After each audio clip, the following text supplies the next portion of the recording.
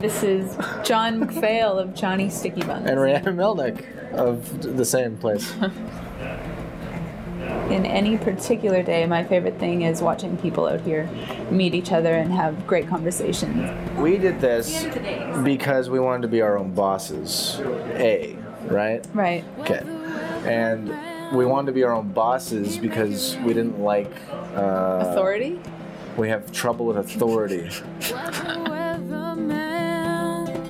he make it rain.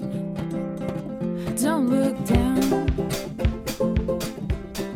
My life philosophy seems to be you can't bluff me.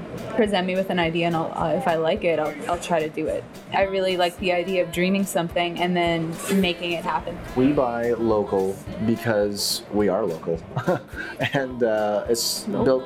We're local. We uh, are building, you know, uh, connections with um, people that are like-minded that needs, um, you know, support in a. In a community, you know, supporting each other and and working together to, you know, create uh, a nice community.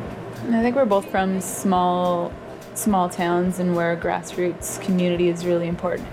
Being a baker, um, I really enjoyed the thought of it because it's like uh, it's an old world idea of uh, you know you've got the um, you know the baker, the candlestick maker, and I, I wanted to be you know the baker of someone's community.